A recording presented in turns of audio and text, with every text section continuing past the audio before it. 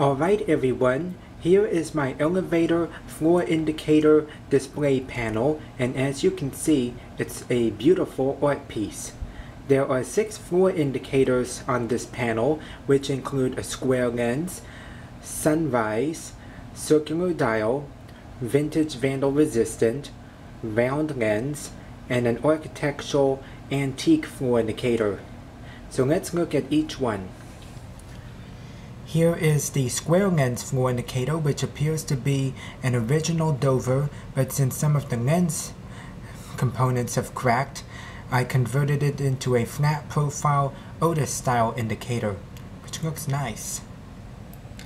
Here is the sunrise floor indicator with the directional arrows on the sides and then the floor markings B, G, 1, 2, 3, 4, 5. So that's a total of 7 floors. Here is the circular dial floor indicator which is very nice and it has a simple 8 floor numbering scheme.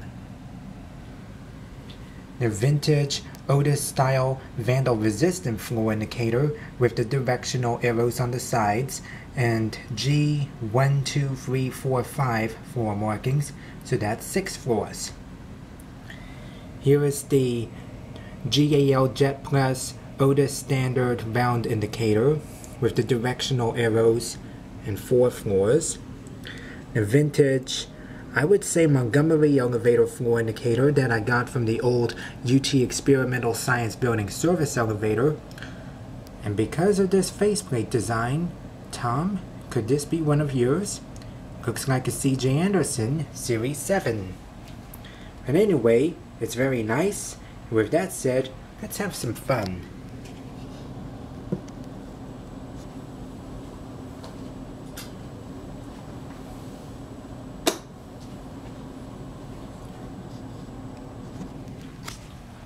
Ooh, wow! This is just stunningly beautiful. Square, sunrise, vandal proof, circular dial, round, and architectural. So, let's look at these floor indicators illuminated.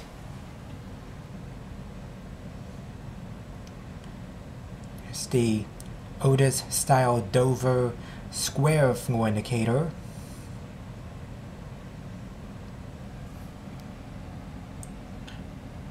The extraordinarily beautiful half moon sunrise.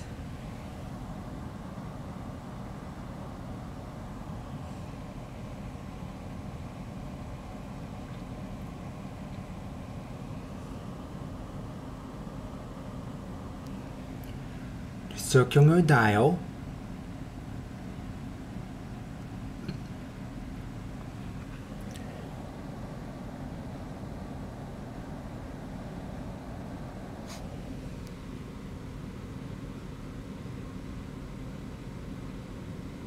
vandal resistant